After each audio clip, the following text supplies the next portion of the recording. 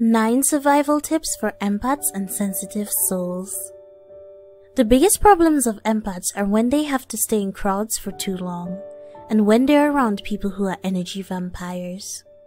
This can be very challenging, almost overwhelming for them. When they are stressed, they become emotional hubs for so many negative energies. During this time, their emotion absorbing qualities heightens and this makes it possible for them to absorb so many emotions. When they are around a peaceful environment, their bodies take up this peace and they glow. If an empath wants to enjoy the company of friends and family very well, he or she has to learn to protect their special gift of high sensitivity and find a balance.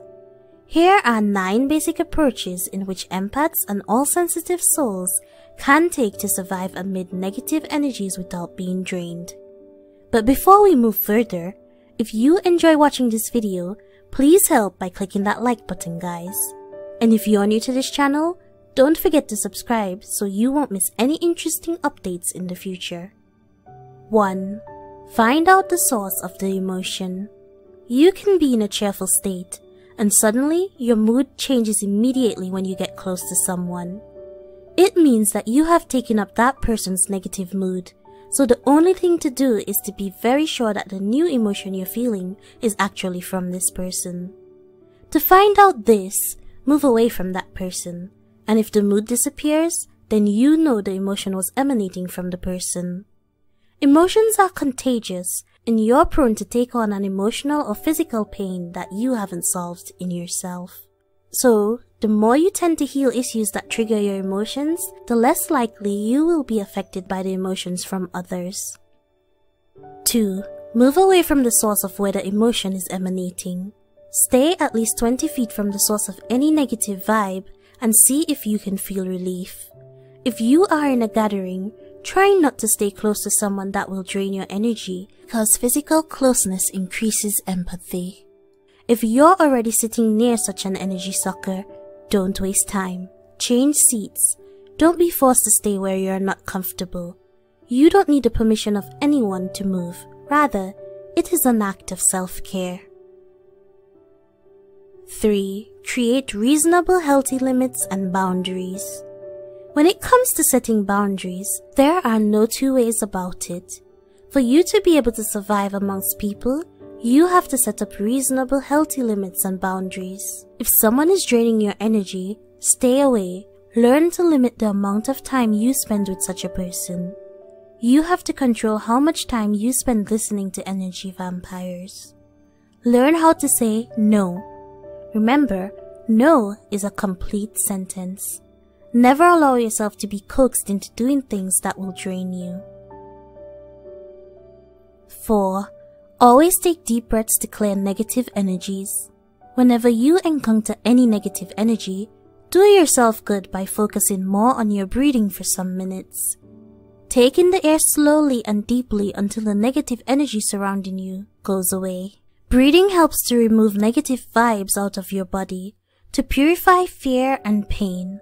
All you have to do is breathe out stress and breathing calm.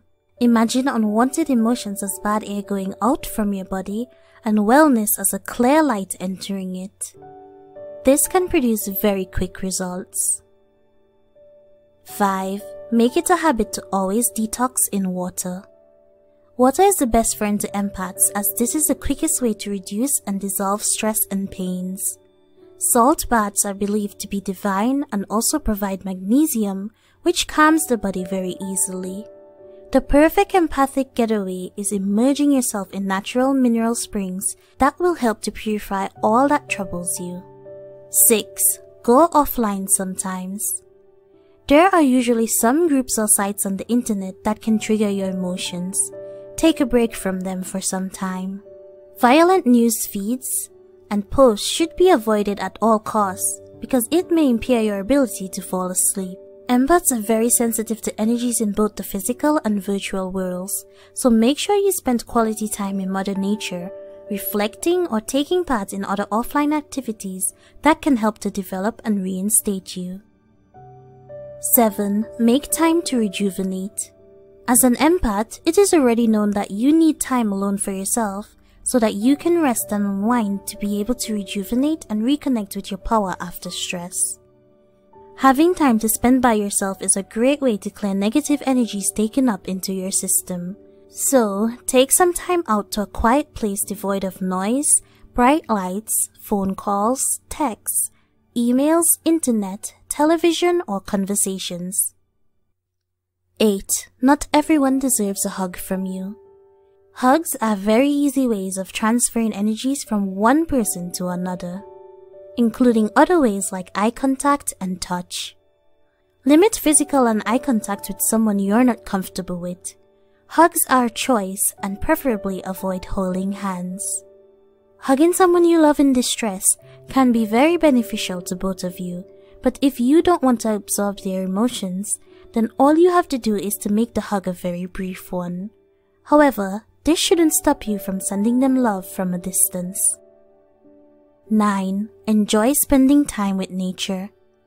This is another great means of unwinding from the negativities of the day. Nature is peaceful and calm. This kind of environment helps to calm your system and wash off the negative vibes. It is a very good thing because empaths naturally love nature and feel at ease there. Try as much as possible to enjoy moments with nature. Walk barefoot on the grasses, feel the energy of the earth beneath your feet, you will surely feel the difference. All in all, those are the 9 survival tips for empaths and sensitive souls. So, what's your opinion about this? I hope you enjoyed watching this cool video, and if you have something on your mind, don't hesitate to share your thoughts and experiences in the comments below. Don't forget to subscribe to our channel and click the bell to join our notification squad. Thanks for watching.